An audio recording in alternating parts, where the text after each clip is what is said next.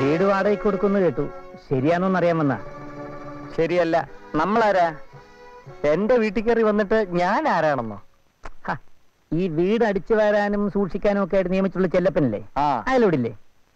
എന്താ കാര്യം? അല്ല അയക്കൊരല്പം കാശ് കിട്ടുന്ന കാര്യമാ. അയ്യോ ഞാൻ തന്നെയാണ് സാർ ചെല്ലപ്പൻ. സാർ അകത്തോട്ട് വരണം. പറഞ്ഞ സാർ പറഞ്ഞോ വരണം.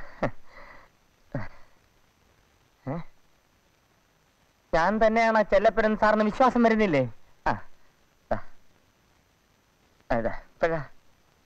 ഓ അത് ശരി. ഇത് വിശ്വരൂപം. നേരത്തെ കണ്ടത് അവതാരം. ഇതെല്ലാം ചെല്ലപ്പന്റെ ഒരു തമാശയല്ലേ സർ? നമ്മുടെ കിഷൻ പറഞ്ഞ പോലെ സർവവിശ്വാസന ഛായ സംഭവാമി.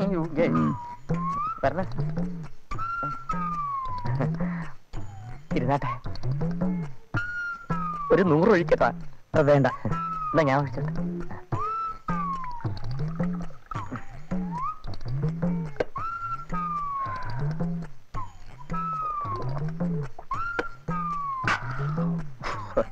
വെള്ളം ഒഴിക്കത്തേയില്ലേ ഒഴിക്കത്തേ ഇല്ലേ മുതലാളി അതിഥികളെ സൽക്കരിക്കാൻ വാങ്ങിച്ചു വെച്ചിരിക്കുന്ന മുതലാളി വന്നിട്ട് വേണ്ട അതിഥികൾ വരാൻ ഓ. പിന്നെ ഇതിവിടെ ഇരുന്ന് പുളിച്ചു പോകുമല്ലോ എന്ന് കരുതി. ഞാൻ സ്വപ്പം സ്മാൾ അടിക്കും. കണക്കിന് വെള്ളം ഒഴിച്ചങ്ങ് വെക്കുകയും ചെയ്യും. അങ്ങനെ ആയി ആയി ആയി. ഇപ്പൊ ഇതിന് വെള്ളം മാത്രമേ ഉള്ളൂ. മദ്യമില്ല. പിന്നെന്തിനാ ഞാൻ വെള്ളം ചേർക്കണ്ടേ ചെല്ലപ്പനാൾ കൊള്ളാമല്ലോ. ഉം.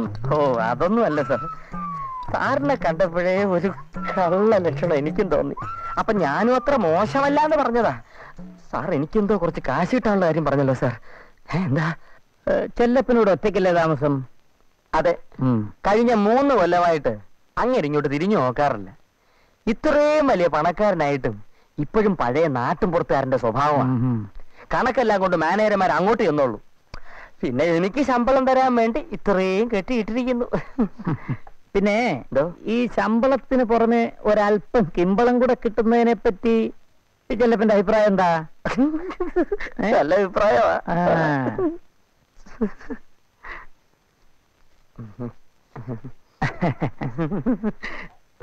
ആ.